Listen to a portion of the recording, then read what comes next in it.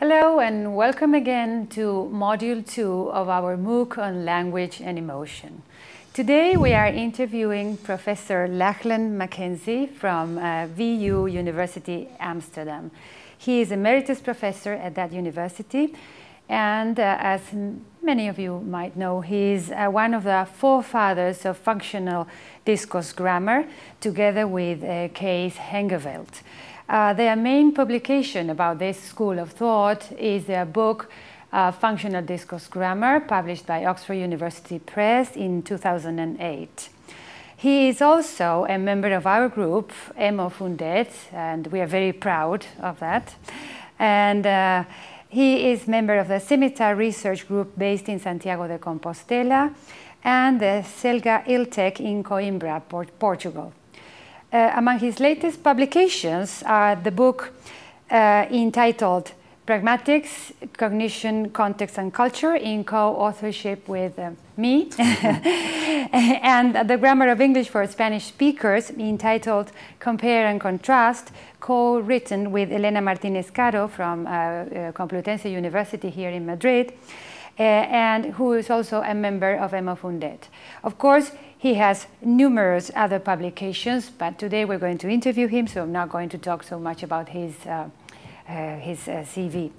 So uh, welcome well, to the UNED and welcome to Spain and thank you for being here. we're going to start with a question since you are, a, you are an expert in functional discourse grammar, of course, because as I said, you are one of the forefathers of functional discourse mm -hmm. grammar.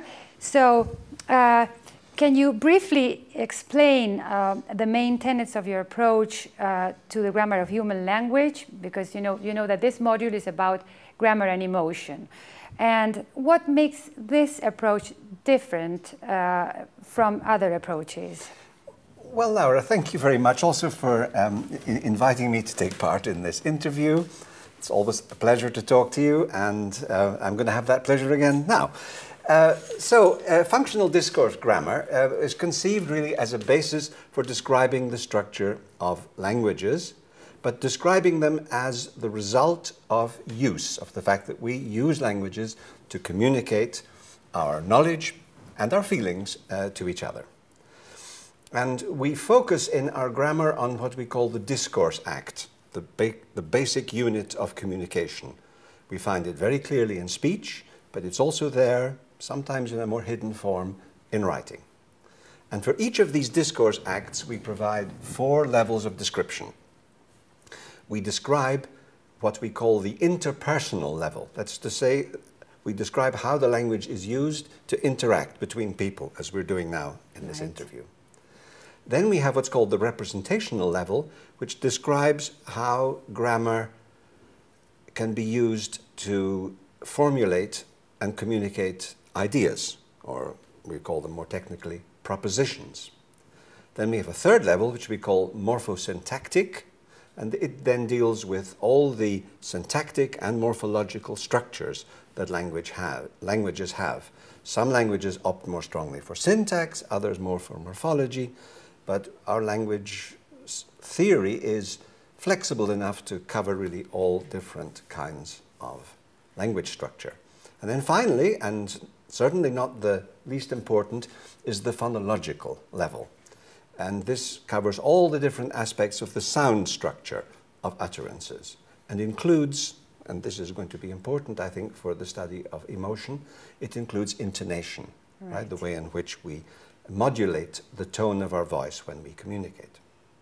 So, as I think I've been trying to say, the aim is to construct a grammatical theory that's applicable to all languages but which above all captures the fact that language structures are there to be used, to be used in interaction. And you asked me how it differs from other uh, right. approaches.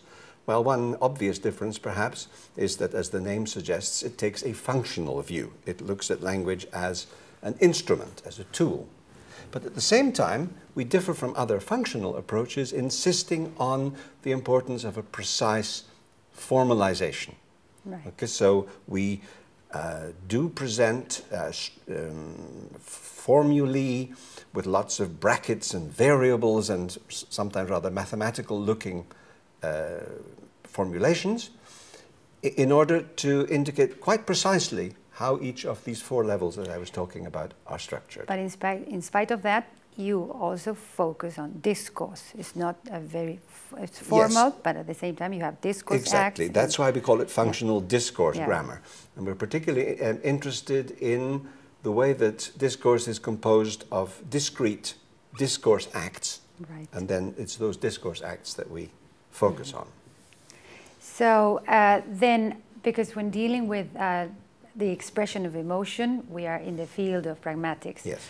Then I wanted to ask you, how does pragmatics get into the picture of functional discourse? Well, grammar? that's a very good question, and it's one I hadn't really thought about enough until I had the experience of writing that book together with you, yes. the book on pragmatics. The thing is that grammar tends to concentrate on how we encode our ideas yes. and then how they are decoded by the hearer. And the idea would be that once you have decoded an utterance, then you know what the speaker had in mind. Well, pragmatics says, no, that's wrong. Pragmatics takes a very different idea. Pragmatics says that the speaker has a particular communicative intention and then conceives a kind of a strategy for how to communicate that intention to the, the hearer. And that strategy involves all sorts of factors, the ones that we wrote about in our book. Right. right? Things like implicatures or indirectness or politeness or even impoliteness sometimes. Mm. So, how the speaker actually formulates the intention is dependent really on all those other considerations. Right. Mm. And the hearer doesn't just decode the utterance like unpacking a Christmas present, right. but rather has to interpret the utterance in terms of what makes sense to him. And this uh, uh, we would call creating a context in which the utterance makes sense. Now, all of this does get a place in functional discourse grammar, but not in the grammar itself, which does concentrate, as most grammars do, on coding and decoding, but in the other uh, modules that we have. Okay, so we have a, com a component that deals with conceptualization, another that deals with contextualization, and it's in the interaction between all those that um, pragmatics is situated in our model. Our model is not, of course, designed primarily to be about pragmatics. It's about grammar. But pragmatics has a strong influence, and um, and, and, certainly once, now that I understand better, as a result of writing that book, what pragmatics is all about, I think that it will get a stronger position. I, I mentioned, if I can just mention it, the interpersonal level as the first yes. of the four.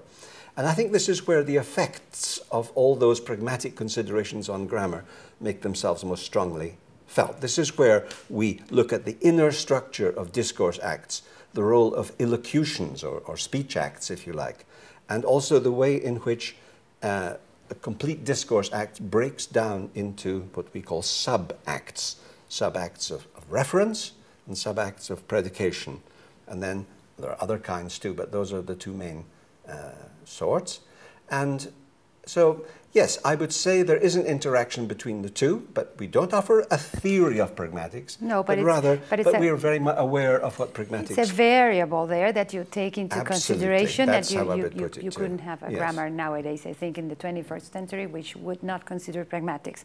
Well, by the way, there are such grammars. Yeah, yeah there are. Yes. But, but, by the way, I should explain to the general public that when we uh, speak of pragmatics in linguistics, mm -hmm. we are dealing with not only the linguistic component of a message, but also with the other variables that are interacting, that is to say the speaker, the listener, and the whole context, which will give the finally agreed meaning between interlocutors. Exactly. Precisely. And so, and speaking about acts, because you deal with uh, discourse acts all the time, uh, how do you consider expressive acts? Uh, that is to say, how do you consider within your approach the expressive function of language. Yes, the expressive function. Well, of course, I immediately think then of the great um, linguist of the 20th century, Roman Jakobson. Yes. All right, and Yeah. he's famous for many things, and one of the things that he is famous for is identifying the six functions of language.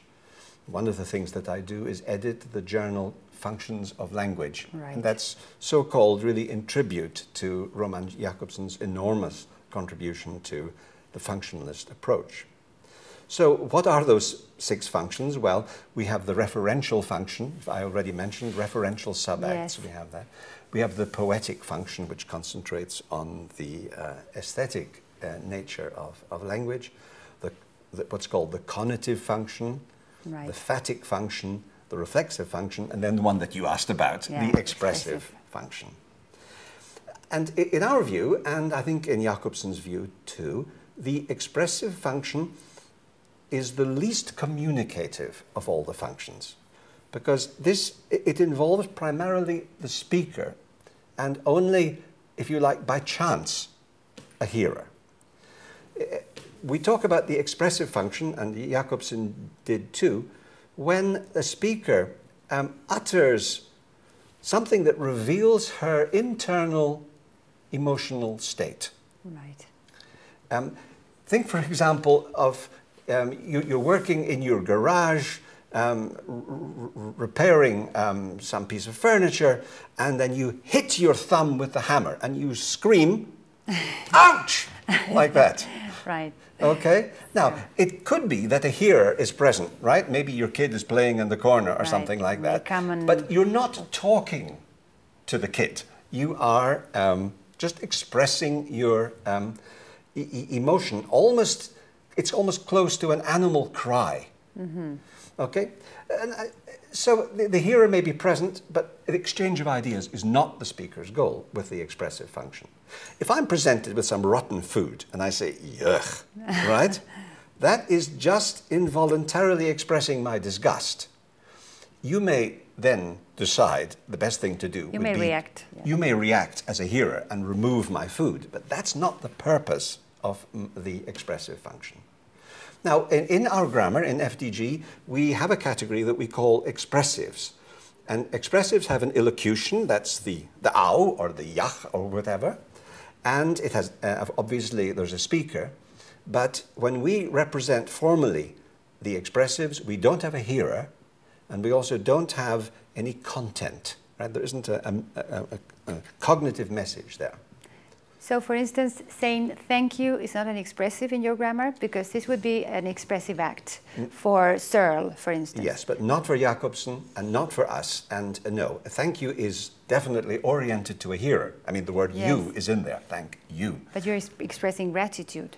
You're expressing gratitude. That's perfectly true, but um, it is that is a cognitive thing. That's not something instinctive, right? Uh-huh. The true expressives are. Um, but when I say they're like animal cries, they are different because they uh, generally, with one or two small exceptions, obey the phonological rules of the, The language, right? yeah.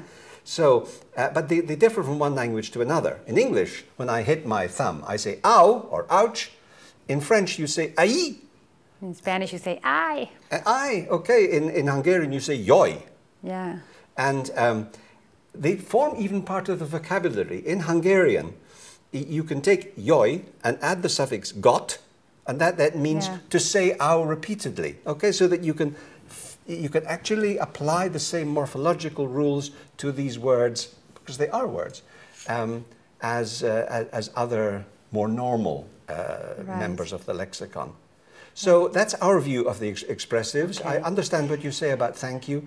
Uh, we um, call them, I think, communicatives, right? Because Uh-huh. they are oriented to the hearer, even although they have no content. Right. Right? They are an expression of emotion. Other example would be congratulations. Great. Yeah, of course. Yes, right. Congratulations Yeah. or everything that expresses your emotions in a way. Your But, but with Yeah. respect to the other, Yeah. you know, you're Yeah. congratulating the other, you're Yeah. thanking the other.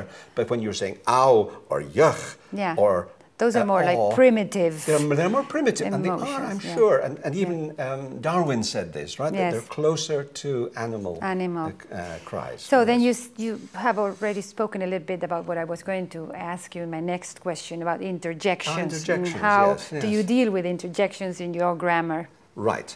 Well, what is an interjection? Uh, I mean, if you think of the etymology, it means that uh, it has been thrown into the discourse, right? It's, Right. It, it, in a sense, they are a little bit outside the normal flow of discourse. And the definition of interjections varies, of course, from one theorist to another, and it covers certainly those expressives we've been talking about. It also covers hesitation markers like er and um that interrupt the flow, corrective markers that you, you've said something and then you say, oops, that's not what I meant, oops, Right. right? Or even some people say that words like hello or goodbye are interjections. So they're a bit of a mixed bag, and I think that as grammarians, what we like to classify, you know, as grammarians, you have to treat them with great discernment and caution. And I think that one good thing about our approach to, to grammar, I mentioned that it was more formalized than other uh, uh, functional approaches, is that you can pinpoint very precisely um, what the different subtypes are and uh, where the different interjections should be positioned within the system. So I think to try and answer your question, I would say that certain interjections, certain, are emotive, expressive, and others aren't. And um, you know, uh, the ones that we've been talking about will express very fundamental uh, emotions, no matter how you classify emotions like anger, disgust, fear, joy. Right? They're, they're very, in a sense, primitive and, and direct. And they then typically get into uh, interjection form, whereas other more complex e- emotions will need more uh, words to, to express them. Yes. So then what would count as emotional categories within your view of language? Just interjections only? Or would you have, Well, um, how about someone saying, I love you, I like this, or is, is that? Um, well, yes, that's. Uh, my basic view is that the expression of emotion, the relationship between emotion and language is an indirect one. Okay? Um,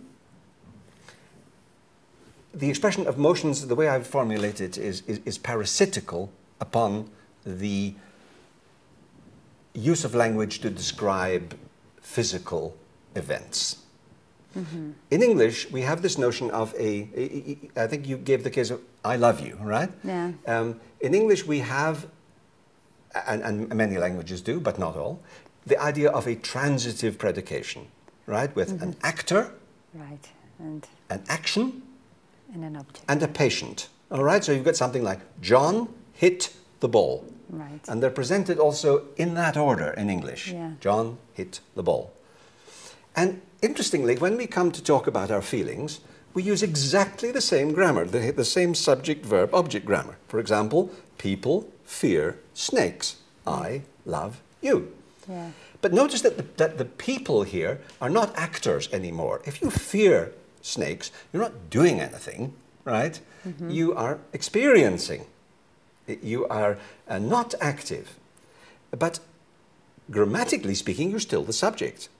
Right? You have the same analysis or, tree structure, if you like, for people fear snakes and John hit the ball.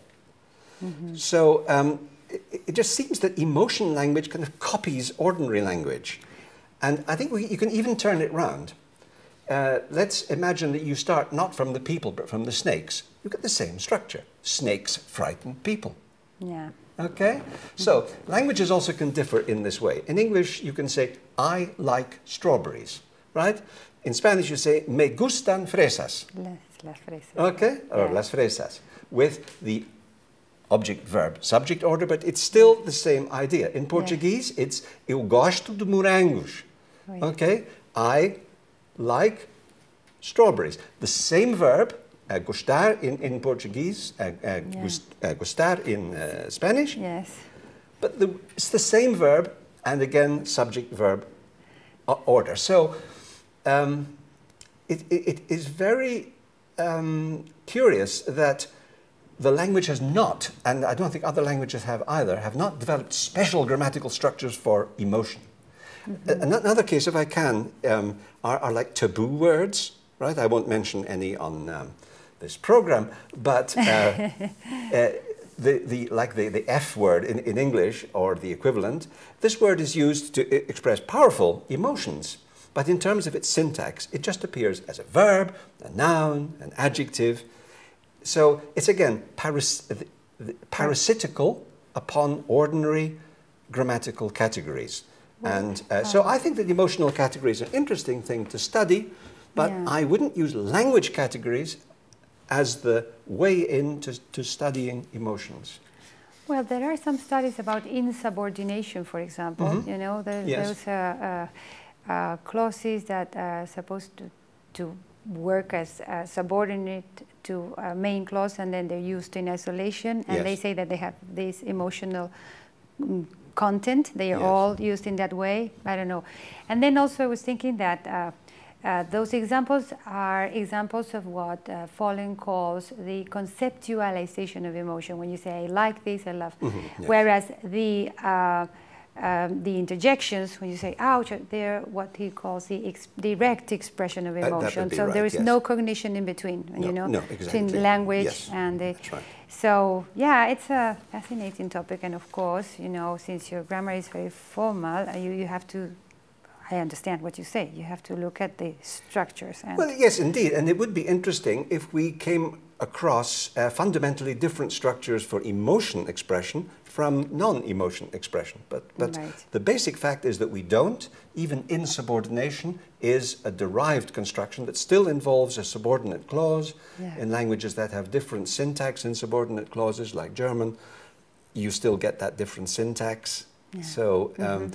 It's only uh, insubordinated in use, but not in, in structure. And right. grammarians, to their last breath, remain interested in structure. Right. Yes. Okay. So then, this is another question which has to do with emotion and evaluation. Do you make any differences in your grammar between emotive and evaluative categories? I'm asking this because some linguists seem to uh, to think that uh, that emotion and evaluation are the same thing. I don't agree with that. But no, I wouldn't really agree with that either. I mean, I, I know it's been much di discussed, and I've read some of the literature. You know, I don't just work as a grammarian. I also work as an evaluator right. of research proposals. Yeah, I know. And I, have been trained in that. Uh, and as I would say, on the basis of my experience, that um, I don't think that my work is emotional when I'm doing that. I feel very rational. Right. You look at a grant application and you evaluate it highly if it satisfies a number of rather objective uh, criteria. I mean, I do sometimes feel some emotion when I'm doing this yes. work, but that's because people have written in an obscure way right. or have plagiarized and have copied material. But mm. that's not what you're talking uh, uh, about. They annoy you. But yes, exactly. yeah. So I would say that in my view, evaluative language, which I then produce when I'm writing my report, um, is very different from um, emotional language. And so I see quite a big difference. So I would say yes, evaluation is definitely possible without emotion. The question is whether emotion involves evaluation for me. And I would mm. say yes. Yeah, I agree with Imagine you. we're in a situation um, that we experience as dangerous. We're walking in a forest and uh, we know that there are possibly snakes in that forest. Yeah. We hear a rustling in the grass, right? Yeah. And what we do is we evaluate that very quickly, maybe yeah. even subconsciously, right. as a possible danger. Dangerous. Danger even to our survival, or in any case to our health. And we then feel an emotion of fear, which would then lead us either to, probably to, to run away, right? Yeah. But then we may re-evaluate the situation and notice actually it's just a breeze of wind that has been blowing up some fallen leaves. Right. And mm -hmm. so there's no snake there at mm -hmm. all. So what's happening here is in Klaus Scherer's theory of emotion, this is called cognitive appraisal. Yes. And so it is a kind of evaluation. Mm -hmm. You evaluate the, the, the, situation in terms of likely outcomes, and then that then triggers the if the likely outcome is negative or very positive, um, but in the case of snakes, presumably negative, uh, that then triggers the, the emotion. So to answer your question, yes, there evaluation without emotion, but emotion without evaluation, no, I think that that would not be possible. Good. So then we agree on this. You know, this I also I think the same. And um, then, do you think that human language is successful or or good then when when doing this job of expressing emotion? Well, I mean, as a functionalist, I'd have to say yes. I mean, it yes. must do it well, because mm -hmm. if it didn't do it well, languages would have adapted in such a way that um, that failure was somehow corrected. Yeah. Okay, I mean, we believe that human languages are solutions that have emerged in response to the challenge of achieving human communication. Mm -hmm. So if language didn't rise to the challenge of communicating emotions, then I think it, language would almost naturally adapt itself. It's almost Darwinian kind of process. Yeah. Yeah. And I'm, I'm kind of fascinated by the fact that languages have not developed, as far as I can tell, special tools for expressing emotions. Think of verb forms, right? We have verb forms in, in Spanish, is very rich with verb forms, for different tenses, right? For different aspects, for polarity, right? In uh, Finnish, you have positive and negative, negative, verbs, right? Degrees of politeness, think of tú and usted in yeah. Spanish. Modality, right? All the different modal verbs and um, evidentiality, illocution. But we don't have any verb forms yeah. for yeah. anger. Right. Or fear. Mm -hmm. Or sadness. Mm -hmm. Right? So another thing is we don't really adjust word order to express emotion. There's only one thing I could mention here, and that is what we call exclamative word order. Okay, so I think there's a big difference between how well does he sing, with that sort of typically English inversion, and how well he sings. Right. right. The second one is what we call an exclamative clause, and many people say this is not just a value judgment, meaning he sings well, mm -hmm. like one of those neutral assessments, but it actually expresses an emotional pleasure in the quality of his singing. Right. So, um, but I mean, I've been talking uh, about syntax and morphology, but there's mustn't forget phonology. Yeah. Right? I and I think it's specifically in the area of prosody that emotion is most clearly signaled. Uh, mm. Prosody, I don't have to tell you, but might be useful for some of the people listening, is that part of phonology that deals with units that are bigger than the individual speech sound, bigger than the, than the phoneme. And it covers five things, right? Intonation, stress, tempo, rhythm, and pausing. Yeah. And prosody is used for many different purposes, for disambiguation, right? Sometimes you can say something that has um, a particular morphological or syntactic structure, but then you need to use different pauses to indicate how it all fits together. Exactly. Mm -hmm. you, to indicate the focus of a discourse act to divide discourse into paragraphs to indicate the presence of irony, something that right. you've written about at great length and yeah. in a very interesting way. And also, and this is perhaps most important to us here, for signaling emotions. Right. But again, notice there are no direct correlations here. People have actually carried out experiments to see how well people recognize emotions um, when presented with language but in a way that they can't understand the individual sounds. All they hear is the prosodic pattern. Yeah, and they've discovered true. that for like anger and sadness, people are quite good. When it comes to other emotions, they're not so good. And one interesting thing is that for recognizing somebody else's emotions, their facial expression is a better That's guide yeah. and the language. Okay, so we must be modest, I think, as linguists. If we think that language somehow reflects emotions, it's a very broken mirror. It's a very, mm-hmm. um, you know, indirect kind of reflection. So, what would I conclude? Yes, I think to answer your question, language does a pretty good job, but in combination with many other right. factors. So that's why we need a discourse analysis of the whole situation. So not taking into account just the words that you use, but the ex facial expression Absolutely. and yeah. many and other things. Yes. movements. Um, but the language is also a key element. It's there. exactly. Yeah. I mean, our emotions are. Um, uh, something that we try to read and uh, reading emotions is like reading a poem right we, right. we, we have to mm -hmm. work hard at it and it can be complicated because people also sometimes can disguise their emotions or True. hide them completely. True. Yes. Okay, so now speaking about learning different languages, and do we express? Do you think that we express emotions differently in different languages? Would that mean that we feel emotions differently in one language uh, of- than the other? You know, if you if you and if you belong to, or you have you're bilingual, Yes. can you feel emotions in a different way? Laura, your questions are getting more and more difficult. The million dollar million dollar question. yeah. I mean, I think I've already made clear that for me, um, the expression of emotions is a sort of overlay on more fundamental functions of, Yeah. of language. Language. And so then there is really an empirical question. And then there was a question that we can research whether that overlay is significantly different from one language to another. That's one of your questions, right? Yeah. And one phenomenon that occurs to me is uh, what we call ideophones. Okay, that's in, in English a word like splish splash. Right. Okay, so something like the rain fell splish splash into the puddle. Onomatopoeias. or It's a kind of onomatopoeia. It kind of imitates the sound of the falling water, Yeah. and um, but it also conveys a sort of emotion and enjoyment of the sound, right? It Right. this was somebody who actually enjoys the sensation of rainfall that's Mm-hmm. saying this.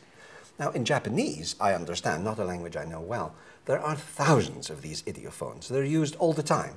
They play a much more prominent role. And so, um, for example, if you're feeling nervous, you know, the Japanese will throw in something like doki doki, which represents the ticking of the Ah, heart, of the throbbing heart.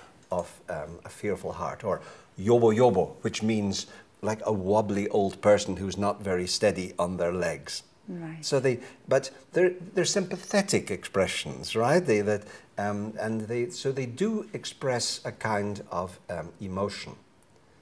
But yes, so then you ask, do we feel ex- emotions differently if we belong to different cultures? Yeah. That's a tricky one. I mean, something that comes into my mind is that in, for example, Spanish-speaking cultures. Now that I'm here, I can Yeah. maybe mention that. Um, it, it may seem that people are more effusive, right, than in the Dutch culture that I'm Right. that I'm used to, right? So I, I I've got it written down here, like a Facebook post, like the following: four exclamation marks, feliz cumple. Four exclamation marks, more exclamation marks. Espero que lo hayas pasado divino. More exclamation marks. Te mando un beso grande. Right? Now, that's quite That normal. That's nothing unusual on Facebook. I, No. I, um, but the Dutch person is just going to write hartelijk gefeliciteerd, which means cordial congratulations. How about the Scottish person? Because you are a Scot. I mean, I haven't. Well, you know, I don't think that they would be much more effusive than the Dutch. Same as but the Dutch. Does this mean that Dutch people feel less affection than Spanish people? I doubt it. Why should they? You know, I mean, Dutch people are, and, and, and Scots too, are just as capable of strong emotions as anyone else. No, I think the difference lies in social norms. In what's expected, what's acceptable, what's unacceptable. Because, I mean, a direct translation of that Spanish into Dutch would sound Horrible. unacceptable, ridiculous, and possibly invasive also of somebody's emotional space. Uh-huh. And, uh, uh, so, and of course, another thing is that actors can, I mean, actors can, can fake emotions, for example. And uh, we were talking recently about, um, uh, you know, when the supreme leader of North Korea, um, Kim Jong il, died, right? People had to, were required to shed tears, right? In in other words, to display an emotion that perhaps maybe some did feel, but maybe not all. No. So, I mean, the outward show of emotions, right, linguistic or otherwise, facial expressions too, is not always a good clue to the inner life. And so I would rush. Um, I would not Well, rush to uh, conclusions. I, I think, but listen, I, I speak various languages, and I don't sense that the language I'm using affects what I feel deep down. Right. No, but it's also true that in different cultures you're expected to feel seeing things differently, and so maybe you are you get repressed because of that, or I don't know, and then, or not, or you, you just yes. go, you know just unleash your emotions because you can do it in this particular culture, and you have to learn that. You know, when you learn a foreign language, and that's why I, I like to speak about emotional bilingualism Yes. because you have to be emotionally bilingual in, in order to function in a in a foreign uh, language. Yeah, but that's very hard, you know. Uh, Yes. I mean, uh, bilingualism. Let's just remember that bilingualism is the natural condition for humanity, right? Monolinguals are in the minority in the population Oh, of the, that's of good the to world. know. It's important to know, Yeah. right? And what is bilingualism? Well, to me, it's the ability to communicate effectively Mm-hmm. in more than one language. I mean, you, um, some people used to make incredible demands that you had to have an, a, a native accent, you know, that kind of thing, that you would be indistinguishable from the real thing. I mean, why? I mean, uh, we surely should be celebrating the multiplicity of cultures rather than trying to, uh, uh, you know, create some kind of homogeneous um, uh, entity that is not uh, realistic or satisfactory to the person. So, I mean, there are people who grew up bilingually. Like my children grew up bilingually speaking English and Dutch. Your children bilingually English and Spanish. Right. Okay, and I would say that they can communicate their emotions to complete satisfaction in either language. Yeah, They're- but maybe in a different way. That's maybe in a different way, but Yes. in terms of emotional satisfaction, to the same Yeah. extent. Because- and they can also code switch, you know, they can switch Yes, from one language yeah, to the other. Uh, but the thing here is that I think that when teaching uh, foreign languages, we should have this into or take this into consideration uh, because you may get into very embarrassing situations if you do not know how to react in that language to a particular emotional situation. You know, Yes, and so you absolutely. have to I agree learn with how you. to deal. You know, But I think and it's a big ask, as we say, you know. Yeah. And um, i people learning a foreign language at school, right? Somebody learning English in Spain, or um, somebody arriving as an immigrant who has to learn the language of the host nation yeah. at a later stage in life. You know, our emotional life is formed very early, very Yeah. early, and it's tightly as, uh, uh, um, uh, linked to our um, our associations with, with others. I mean, it's not just language; it's gesture, it's facial, it's bodily, it's. I mean, there's there's so many aspects, and it's not unusual for foreign language learners to commit some kind of a faux pas, if you like, a, a gaffe, or to feel insecure when it comes to emotionally charged communication. Like, for example, uh, writing a letter of condolence. Yeah, that's I mean, that's a, That's a it's tough very tough. Or, or, or, or in business, dealing with a seriously dissatisfied customer. right. You know, it's so hard. Um, uh, uh, someone we both know very well, Jean-Marc Dewaele, Yes. has written about this, and he's looked at how English-speaking people in the UK feel about foreigners using swear words. Yes. Okay? True. Many English people in the UK and uh, maybe other people in, in other countries of the UK feel that there's something unusual or not quite right about foreigners using swear words. Yeah, they can use them, but if you're a foreigner, mm, Exactly. you're kind of no. Yeah, you're supposed to sort of speak clean. Look down you know, I don't know yes. why that is, and um, but, but but what his work does show, and I think it's interesting, is that the more contacts you have in society, and, and the more vari- varied your contacts are, the better you will handle this notion of emotional um, Yes. bilingualism. Yeah. So, uh, but to try to create emotional bilingualism in a school in somewhere in, in, in Spain is, uh, you know, with respect to English, seems to me almost impossible. Difficult, But yeah. yes, if you if you immigrate to a country, Yeah. let, let me just go back Yeah. to this thing about I love you. Okay, um, what I absolutely do not believe is that the grammatical form of emotions um, affect how people feel. I, I, I made a little list here on this piece of paper. In Scottish Gaelic, you can also say I love you, but then you say Hagra akam orst, which means is love at me on you, Oh, right? In Swiss German, you say Ich ha die gern, which means I have you willingly. Huh? and that means I love you. That means I love you. In Dutch is Ik hou van jou, which means I hold from you. So there's no word. In Afrikaans, it's, it's uh, Ek lief jou, which means I am sweet for you. I now- like that. I like that one. Okay, you like that one. But don't tell me, and I'm just not never going to believe it. Language determines how you feel when you're in love. No. All these people feel exactly the same thing, but, they, but the, the language is, expresses it differently. So I think that we have to be extremely cautious about saying that um, language affects the inner life. Language is a tool. It's something that we use like a car in order to, uh, to move to our destination. It's like um, a hammer that we use to knock in a nail, right? And just as that hammer doesn't affect our inner life and our car doesn't affect our inner life, perhaps for some people, um, uh, our language doesn't either.